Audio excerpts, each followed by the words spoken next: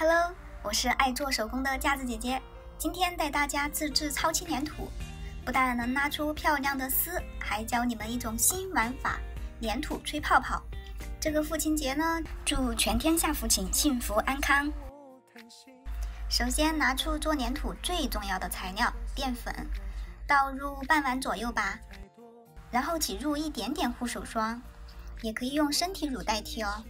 再倒少量的胶水，把它们混合起来，一直搅拌到这种不干也不湿，可以结成团的状态。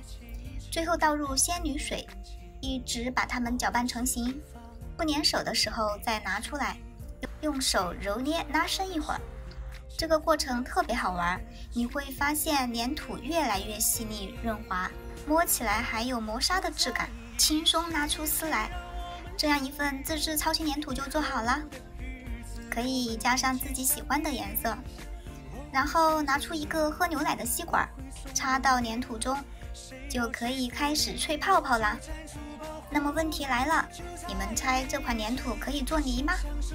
姐姐将会在明天的视频用它来测试哦。